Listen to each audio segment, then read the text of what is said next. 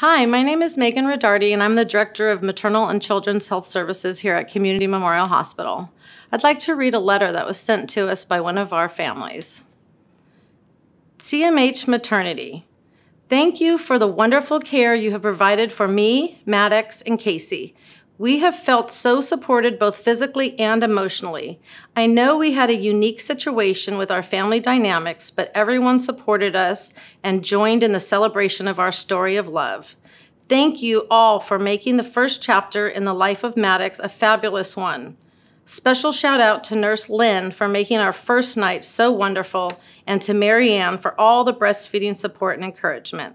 Thanks again, Christy. Thank you, Christy, for your letter.